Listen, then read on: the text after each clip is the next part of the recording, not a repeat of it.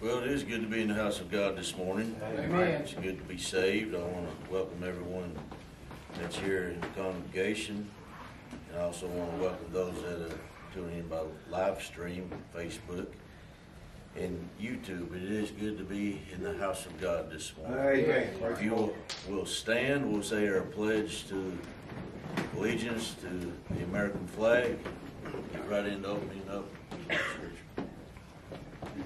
Attention, salute, pledge. I pledge allegiance to the flag of the United States of America and to the republic for which it stands, one nation, under God, one nation, under God, indivisible, with liberty and justice for all.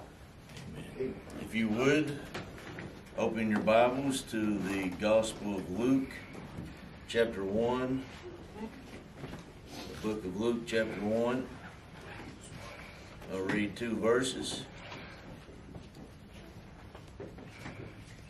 I'll give you a second there to open, open up to that. Gospel of Luke, chapter 1. Two verses, it's verse 32, verse 33. These are prophetical statements. Scripture reads, And he shall be great, speaking of the Christ child, Amen. shall be called the Son of the Highest. And the Lord God shall give unto him the throne of his father David. Verse 33 And he, speaking of Jesus, shall reign over the house of Jacob forever, and of his kingdom there shall be no end. Thank you for standing on the word of God. Amen. These are prophetical statements. Uh, They was given, uh, uh, angel speaking to Mary, we know this, about the child that she was going to have. And I would like for us just to uh, think about the, the circle of life, the circle of events, how things come into our life, how things go. But if it's according to the Word of God, it, it is going to happen. Right, amen. Old Testament prophecy that there was going to be a child born, Amen. a son was going to be given, Amen. Right. that he was going to sit on a throne, the government was going to reside on his shoulder. Amen. Right. So we know that Jesus was born and he was given Right. And we have the rest of the prophecy. And if you'll notice in the scripture that the throne was going to be uh, of his father David. Right. Now we know David was an earthly king. So if this prophecy is going to be fulfilled, the throne and the kingdom is going to be an earthly kingdom. Right, amen. There's a lot of there's a lot of speculation on millennial reign, and folks, according to the Word of God, He is going to sit on an earthly throne, and He's going to reign on an earthly kingdom. Right, amen. And I say Amen for that. Right. He says the throne of David is going to be his father's throne. David, we know David was an earthly king. Then, if we'll go down here to verse 33, he said he's going to reign over his people Jacob. Jacob was the earthly name. Israel was the spiritual name. Right, amen. So we have two prophecies that are stating that Christ is going to reign on an earthly throne and it's going to be earthly people. Right, amen. So what is this telling us? Well, if we believe the first part of the prophecy, we're going to have to believe the second part of the prophecy. Amen. Brother. Man, we believe this by faith. What are you What are you getting to? Thank you for asking. Before Christ came, the government had gotten corrupt. Oh, yeah. Mm-hmm. God's people had gotten apathetic and complacent. Right. And then God, we see the hand of God moving. And if you want to see complacency and uh, people being apathetic, read the book of Malachi. Right. You can see this. This is the last book in the Old Testament. And for 400 years, we have the heavens being silenced. No voice of God. Right. So without the voice of God, we have man getting more complacent and more apathetic in his heart, which leads to a lifestyle of following the flesh, do what the flesh wants to do. Right, brother. So we have, according to the scriptures, the last church age, if we want to use it as a church age, we have the Laodicea church age, which means the rights of the people. Do what your flesh wants to do. Right. Go ahead, brother. Mm. So what are you getting at? I'm getting at there's getting ready to be prophecy fulfilled. Yeah. Mm-hmm. And it's we're living in a time now that we should not get complacent. Amen. Though our government is getting more corrupt by the day, that should not uh, dictate to us to get apathetic according to our life in Christ. We need to keep going on for the glory of God Amen. because Jesus is coming. Right. He is going to take the, the church out of here. Yep. But folks, he is going to reign on the throne. He, it is going to be a millennial reign. He is going to reign over his people. Yeah. Amen. So what are you saying? I'm saying it's not a time for us to stop doing what he wants us to do. Right. Though the the darkness is getting darker Yeah. and we're seeing the evilness, the wickedness Right. in high places. And it's and it, it, what it'll do, it'll create in us an apathetic spirit. If this is if it's going to continue to go down, what is the point of me trying to achieve greater heights? Go. Because he's not come yet doesn't mean he's not coming. Right. And if we want to be found faithful, we're going to have to keep on the fire line going on for the cause of Christ. Right. Amen. Amen. Doesn't matter how wicked our government gets. Right. It doesn't matter how apathetic maybe our brothers in Christ, sisters in Christ get. Right. That's got nothing to do with me. I want to go on for the glory of God Right. because my King is coming. Right. Amen. Amen. Uh, we're going to have a song for you here in just a minute. I want to welcome everybody on YouTube and also uh, Facebook that's tuning in to, today. We uh, uh, appreciate you taking time out for our broadcast here at New Hope Baptist Church. Uh, got some thank you cards I, I like to read. This one is from a lady here at our church named Sister Patsy Harr. She had some surgery. And she says, Dear New Hope Church family, thank you for the prayers. Through this storm, God has been good to me. Thank you for the basket of goodies. Please continue to pray for all the sick loved ones. Hope to be back at church soon. Love in Christ, Patsy Hart. So we appreciate that from Sister Patsy. That will be going on the bulletin board. Also, this is a uh, card from the family. It says, Give thanks to the Lord for he is good. Psalms 107 1. And a special thanks to you. Words cannot express how thankful we are for such a wonderful church family. We appreciate all the prayers, love, and support you have shown our family. Things will be so different, but we must press on. Amen. Love each and every one of you, the Neal family. Amen. And we appreciate that. That will be going on the bulletin board also. Here on our bulletin today on the front was uh, something put that will make us think a little bit. It says, Hold everything earthly with a loose hand, but grasp eternal things with a death like grip. Amen. That's what we need to do. Amen. That we're not, we're only here for a little while, but there's greater things yet to come for the child of Amen. God. Amen. As he read this morning. Praise the Lord. He will set up his kingdom. Regardless the good that can be done on this world, there will never be perfect peace until the Prince of Peace rules and reigns. Amen. All right. We had some birthdays this past week. Pearl Templeton had a birthday. It was on February 3rd. Garland Worley had a birthday, February the 5th. Barbara Stollop, she had a birthday on February the, the 6th. We call her Bobby. And then Jimmy and Judy Nunley had an anniversary on February the 2nd. So we wanted to recognize all of these. In our pastor's corner, I put today, praise the Lord. Glad to be in the house of the Lord today. Everyone is welcome. Here are some important dates of February. February 12th will be Lincoln's birthday. February 14th, which will be next Sunday, will be Valentine's Day. Uh, February 15th is President's Day, and February 22nd is Washington's birthday. We will miss Brother Johnny Neal. He was a great daddy, a great deacon, a great dedicated child of God. But praise God, we will meet him again. And it's all possible through our Lord and Savior, Jesus Christ. We will continue to have services 11 a.m. and Sunday at 7 p.m. I mean, uh, 11 a.m. on Sunday and 7 p.m. on Wednesday nights. We will give you notice when we go back to all our regular services. Uh, Wednesday night, the 17th, will be stewardship meeting.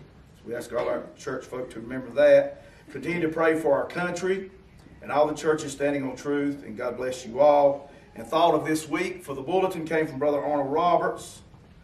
Think about this concern moves you to action. Jesus calls for decision.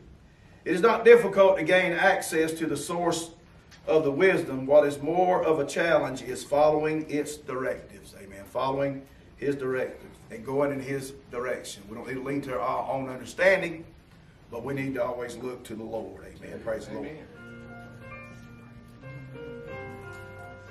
Let's move.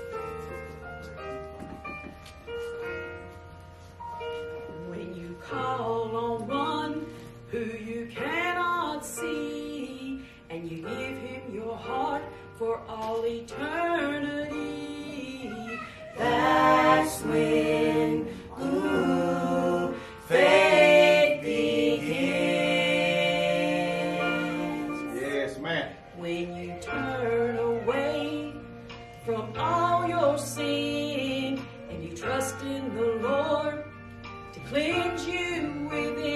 within. Amen. That's when Amen. ooh, faith Thank you. begins. Man. Thank you, Lord. In childlike trust,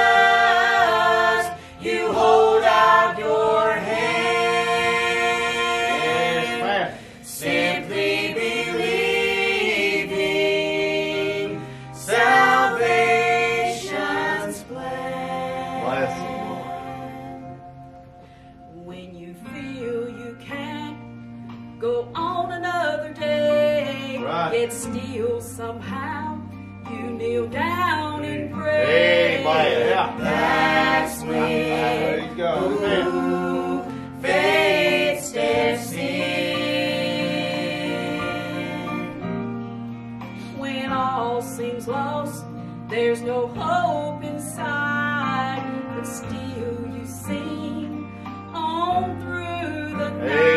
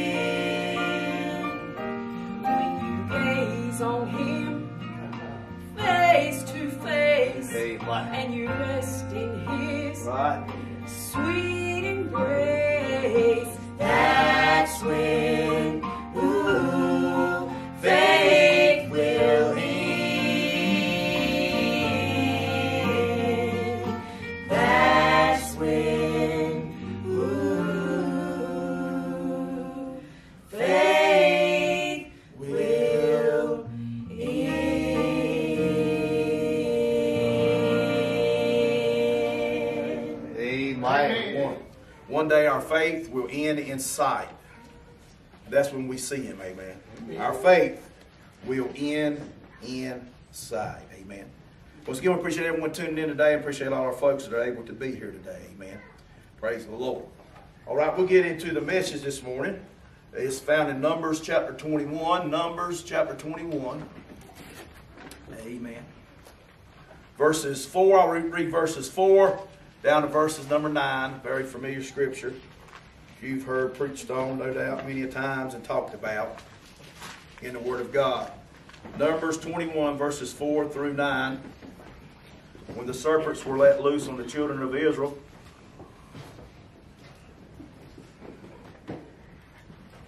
and they began to die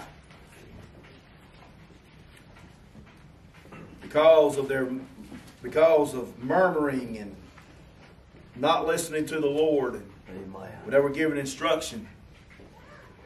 Numbers 21, verses 4 down to verses number 9. Begin reading in verses number 4. They journeyed from Mount Hor by the way of the Red Sea to compass the land of Edom. And the soul of the people was much discouraged because of the way. And the people spake against God and against Moses. Wherefore have you brought us up out of Egypt to die in the wilderness? For there is no hmm. bread, neither is there any water. For our soul loatheth this light bread. And the Lord sent fiery serpents among the people, and they bit the people, and much people of Israel died. Therefore the people came to Moses and said, We have sinned. We have spoken against the Lord and against thee. Pray to the Lord that he take away the serpents from us. And Moses prayed for the people. And the Lord said unto Moses, Make thee a fiery serpent, set it upon a pole. It shall come to pass that every one that is bitten, when he looketh upon it, shall live. Moses made a serpent of brass, put it upon a pole. It came to pass that if a serpent had bitten any man, when he beheld the serpent of brass, he lived. Let us pray. Father, thank you for the privilege to be back in your house today. Thank you for this week, and thank you for your grace and your mercy. We thank you for everyone assembled under the sound of our voice and those who are watching through YouTube and those who are watching on Facebook. Pray your word, Father, will accomplish the thing that you'd have it to today, Father. And Lord, we just pray, give us grace, hide us behind the cross as we preach your word. Father, let me say nothing contrary to the scriptures, Lord. Thank you for our church. We continue to pray for our nation, Lord. Help us this morning, Lord. Pray for that soul that doesn't know Christ as their personal Savior, that the Holy Spirit of God might convict their hearts and they'll come to know Jesus for it's everlasting too late, Father. And Lord, for everything that's accomplished here today, Lord, we'll give thee the glory, give thee the honor, the praise for it all. We ask these things in Jesus' name, and for his sake we pray. Amen. I'll be seated this morning. Thank you for standing in honor of the Lord's word. I want to preach on this thought this morning when the serpent strikes. When the serpent strikes. Now, Jesus used this story as a type of himself. He said in John 3 14, he says, And as Moses lifted up the serpent in the wilderness, even so must the Son of Man be lifted up. Now, Jesus used this. So, this is a picture of the substitutionary work of the Savior taking our punishment so we could be saved. He was our substitute. He took our place. We know that. Amen. But brass is a picture of the judgment of God. The judgment of God. But then there's a secondary principle here also.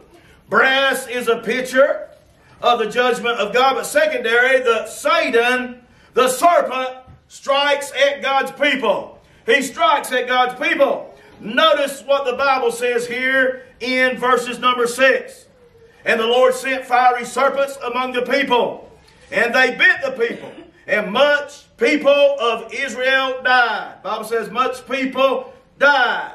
So we find here that the Bible states that Satan, the serpent, cannot touch us without God's permission. He can't touch us without God's permission. He gets a whole lot more credit than we should give him. A lot of things he knows is because we tell him.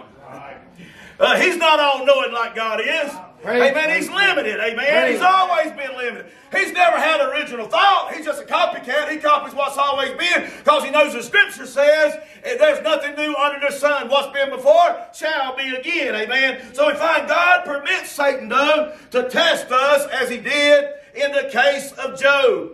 But God permits Satan also to fight against us. Bible says in Ephesians 6:12, for we wrestle not against flesh and blood. We don't wrestle against flesh and blood. So what does that mean? We're wrestling against the cohorts of hell, the devil and all his cohorts. But God permits Satan also to destroy us. Bible says in 1 Corinthians 5 5 to deliver such a one unto Satan for the destruction of the flesh, that the spirit may be saved in the day of our Lord Jesus. So there's certain things Satan can do by God's permission. But we want to look a little while two things this morning on when the serpent strikes. When the serpent strikes. First of all, number one, we see the setting. We see the setting. When does the serpent strike? When does he strike? Well, according to the scriptures here, we see it was when they journeyed. Look at verse 4. And they journeyed from Mount Hor. When they journeyed, that's when the serpent struck at them. Amen. Now we find, mark it down, the serpent will not strike you when you're sitting still and doing nothing. When you're sitting still and doing nothing, he will not strike. Usually a snake must be provoked before it will strike. Amen. And we need more Christians to get on the move. And we need more Christians to quit sitting still. And we need more Christians to quit doing nothing, amen. Amen. We need to be doing something, amen. As the woman in the Bible when Jesus said she did what she could. But it happened when they journeyed. Now, where did they journey? Well, first of all, they journeyed from a place of prayer. They journeyed from a place of prayer. They journeyed from Mount Hor, the place where Aaron died and was buried. What, what are you trying to say? Prayer will provoke a strike. When we get to praying, and God knows we've been doing a lot of praying around this church, and we need to continue to pray. We don't need to stop now. We need to keep our prayer lives open, amen. Talking to God. But when you start praying, the serpent will begin to strike, amen. He'll begin to strike. They journeyed from a place of prayer. Not only that, they journeyed from a place of assurance. Bible says, by the way of the Red Sea. By the way of the Red Sea. It's a place where the enemy was conquered. Remember the Red Sea? God parted the Red Sea. They crossed over on dry land. That was the place where the enemy was conquered. The, ste- the sea was still shut. The enemy was still dead. When you start getting some, some things nailed down in your life, watch this. When you get to the point you get your salvation nailed down, amen, you know that you're saved, you're sure of it, you're sealed. And when you start leading somebody to the Lord, we call it soul winning. When you start separating yourself from the world, when you start having standards in your Christian life, when you start applying the scriptures to your life, amen, it will provoke a snake bite, amen. Because he don't like prayer, he don't like standards, he don't like the scripture, and he don't like a separated life, amen. He will attack you, but bless God, let him attack us. Why? Greater is he that's in me, he that is of the world. That's right. Amen. Amen. so much he, he can do, and then he's got to have permission. That's right. Amen. Amen. Then he has to have permission. They journeyed from a place of prayer. They journeyed from a place of assurance. But they also journeyed to a place of victory. Bible says they journeyed from Mount Hor by the way of the Red Sea in verse 4. to watch this now compass the land of Edom. They journeyed to a place of victory. What was Edom? It was the place of Esau's descendants. To compass means they walked the boundary, they walked the border. Spiritually, they did not cross over to fleshly desires. When you start crucifying your flesh, and when you live like Paul said, I die daily. When you start crucifying the flesh, the serpent will strike. Yeah. When you start crucifying your flesh and you try to walk as Jesus walked, think like Jesus thinks. Bible said, let this same mind be in you, which was also in Christ Jesus. When we start setting our affections on things above, look out. The serpent will strike. Amen. He will strike. We see the setting. When does the serpent strike? But we also see when they got discouraged. We find the serpent would strike when they journeyed, but the serpent would strike when they got discouraged. Now, let me say this it's very easily to get discouraged now. Right. On, preacher. Only thing I can tell you to do is get rid of your TV. Yeah, that would help a lot. But now you can watch Bugs Bunny and you know and the cartoons and all that stuff, and you'd be a whole lot better off. Amen. But let me say this: when they got discouraged, they got discouraged because of the way. It was a struggle to pray. It was a struggle to keep the faith. It was a struggle to fight the flesh.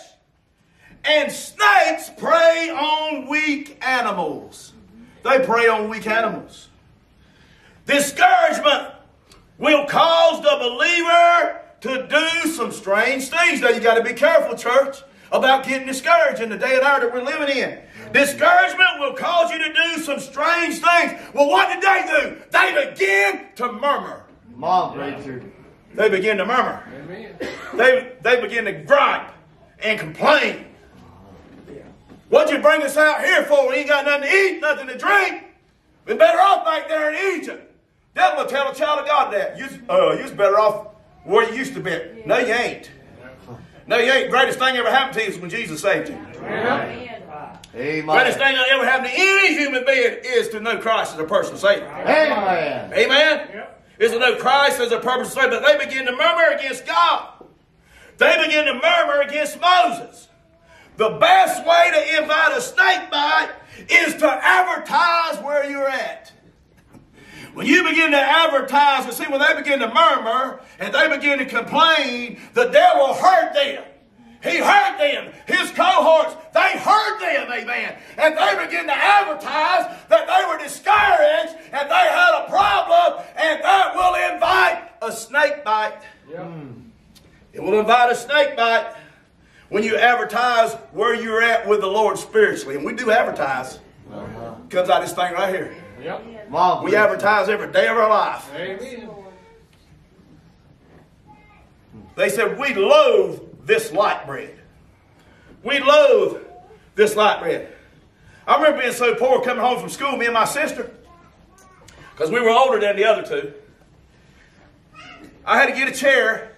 I stood up in the chair, and I knew where the bread was at. We always did keep some bread, so thank God for that. But we'd get home from school, my sister would be hungry, and I'd be hungry because the babysitters had the other two. And so I would climb up in the chair, get up on the counter, get the bread down, and get ketchup out of the refrigerator. I wouldn't have no meat. I'd take that ketchup, put on that bread, and we make tomato ketchup sandwich. I'd have one, and she'd have one. We was poor, but we survived, amen. We was poor, but we survived. But they said, we begin to loathe this light bread. What that means is they detested. They wanted something better. They wanted something better. When you get saved, you can't get nothing better than what you got. Best thing you'll ever have is the Lord Jesus Christ. You'll find nothing in this world ever compared to Him. We've got the best when God gave His Son as a substitute. He gave the world the best He had. Amen. Amen. We've already got the best. Amen. But they wanted something better. They strayed from the path. And you certainly will too when you begin to murmur and complain. You'll stray from the path. So we see the setting. When does the serpent strike? He struck when they journeyed, and he also came when they got discouraged. So we see the setting, but number two, here's our second point. We see the solution. Ain't you glad God has a solution for your problem? Well, I'm just going through something. God can't do nothing about it. Oh, yes, He can. He's got 66 books, and He's got a solution for everything you'll ever go through. Right. Amen. And then on top of that, I'll not leave you comfortless. Good, brave. We have the Comforter. Amen. We have the Holy Spirit according to Romans 8 9. So we're not left comfortless. We see the setting, but there is a solution according to verse number 8. Amen. Lord said unto Moses, Make thee a fiery serpent, set it upon a pole, and it shall come to pass that everyone that is bitten, when he looketh upon it, shall live. Now keep this in mind.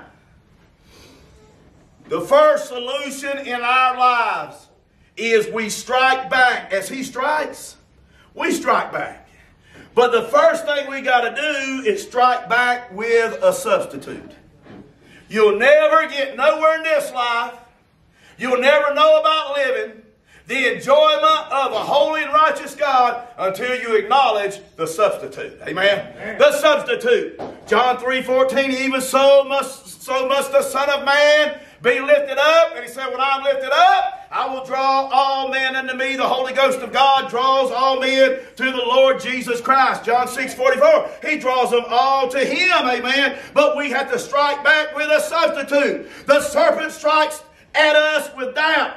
But we got to strike back with Calvary, amen. Show him the brazen serpent, amen. When he comes to you and he tries to get you to doubt, after you get saved, strike back. Take him back to Calvary. Take him back to where it happened at, amen. Remind him, I have a substitute. I'm not going to heaven on my own. I'm going to heaven because God made a substitute for me.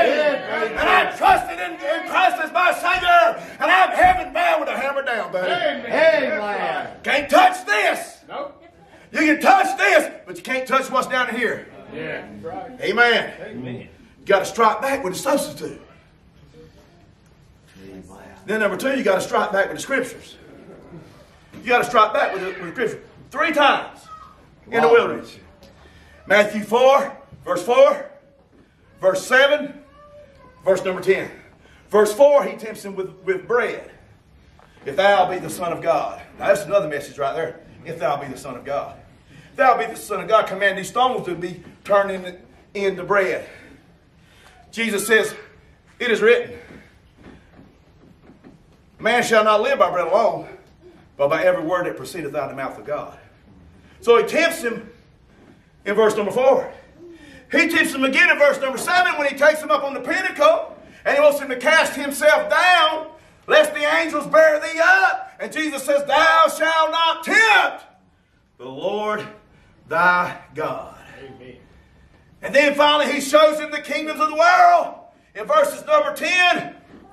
And he tells him, If all this I'll give thee, if thou fall down and worship me, he said, It is written, Thou shalt worship the Lord thy God, and him only shall thou serve. Amen. So we find you got it when he bites at you, take him to the scripture. Give him the scripture, brother. He'll get off your back real fast. Yeah, brave. He'll, hey, he'll cut a trail. you got to strike back with the scripture. And the word of God is the sword of the Spirit. Ephesians 6 17. So we find you and chop off a snake's head with a sword. I can chop off a snake's head with a with a hoe handle if I have to. Amen. But we find, thank God for the word of God, which is the sword of the Spirit, because it can bring him down to size. Psalms 119, verse number 11 says, Thy word have I hid in my heart that I might not sin against God. Strike back with the substitute. This is your solution. Strike back with the scripture. Hey, strike back with supplication. Supplication. Ephesians 6 18. Wow. Praying always with all prayer and supplication. Wow. That supplication just simply means pour your heart out to God. Prayer and supplication in the Spirit. Satan starts striking. We got to tell him, I'm going to pray for some sinner that's lost. I'm going to pray for a child of God that's going through a hard time right now. I'm going to pray for a solution. I'm going to pray for revival. And I'm going to pray for uh, the power of God in my Christian life that I'll do what God would have me to do. Amen. Pray back with supplication when He strike back at Him with supplication. Amen. But not only that, strike back at Him with your service for the Lord. Yeah. Keep on doing something. Yeah, preacher. Keep on doing something. Bible says in Romans 12, 21, be not overcome with evil, but overcome evil with good. When the serpent strikes, let it remind you to go do something good for somebody else. when he strikes, let it remind you to give extra service to God and to the church. Let it remind you to get in touch with God's people for fellowship and worship. But when he strikes, amen, come back with service and keep going for the glory of God. Amen. Keep on going. Amen. These times should excite you. Amen. God, before this thing is over with, God's going to hammer some sin, buddy. You watch. God's going to hammer some sin before this thing's over with. Amen. Because why? Because He's God. Yeah. Because He's God. And He cannot go against His word. That which is done in secret shall be brought to the light. Yeah. He that covers his sin shall not prosper. Amen. You'll reap exactly what you sow. Amen. God cannot lie. Amen. Just stick with God in the Word. He'll bring it to pass. Amen. Amen. Strike back with your service. But listen to this. The last thing I want to share with you is strike back with standing. Standing.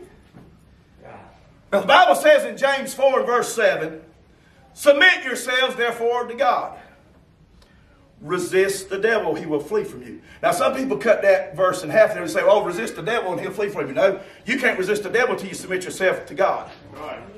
Amen. Strike back when you're standing. Acknowledge something, Christian. What is it? You need some help. You need some help. Sure, you do. You need some help. That's why the Bible says submit. Throw up the white flag, get in God's army, and say, Listen, I can't handle this. I'm a private. Where's the commander in chief at? We got a commander in chief. Preacher. And he can handle whatever we go through, amen. Hey, we see our standing. Acknowledge you need help. And then you can attack the devil. It says resist, resist. It means to oppose him. This is a charge, not a spectator word. It don't mean sit back and watch what's going to happen. It means charge, charge. Hey, do like the Bible says, the gates of hell shall not prevail against it. What does that mean? The church is charging against hell, amen. Right. We're not spectating, dear God, we're charging. Amen. Amen. Amen. It is openly oppose everything Satan is sponsoring, and it's not neutral ground. You know, some people just want neutral ground. Well, I don't want to say. I don't want to take sides. No, uh-uh. You either watch for me or you're against me. That's right. That's what he said in his word. Conclusion. Israel sinned, and they suffered the consequences. Right. But Israel struck back. The serpent is going to strike, and if we don't strike back, it is a common fact. A snake bite will kill you. Now, Brother Lynn has been bit by a snake before. Copperhead. They will kill you. Well, what saved his life? The antidote. the antidote. Amen. I'm not going to hell. How do you know? I've had the antidote. Right. Good preacher. And it wasn't, hey, and it wasn't a shot in the arm neither. I've had the antidote. 37 years ago, I fell down on my knees in a little bedroom and I got the antidote. Right. And it's a miracle what this antidote does. What does it do, preacher? It takes bu- bud out of you. Amen. It takes that wicked lifestyle straight out of you. You want your lifestyle to change? Don't try to go through reformation, amen, and try to get some help. What you need is the antidote. And the antidote will change your life. That's right. That's right. Amen. You have to have the antidote. Three stages. There's the bite. There's the numbness. If we're not careful, it'll bring forth death. What we need is the solution. Would make our world a better place? The solution. It don't come here from figuring it out. It's got to come from here. Amen. It's got to come from here. Right. The only hope is the Lord Jesus Christ, Yes. Prince of Peace. Greater is he that is in us than he that is of the world. We'll never have satisfaction without him. And when the serpent strikes, we see the setting for when he does, but we also see the solution for what we need. We need a substitute. We need his scripture. We need supplication, service, and standing for the Lord. And I pray by the grace of God until God takes me out of here, eitherwise by the grave out there or by the rapture, I want to stand. I will do all I can to stand. He said, when you've done all you can do, he said, just stand. Amen. Just stand. Stand for the cause of Christ. But I desire if anybody's watching this today through YouTube, Facebook, somebody here today doesn't know Jesus Christ as your personal Savior, that you'll come to know the Lord for it's everlasting too late.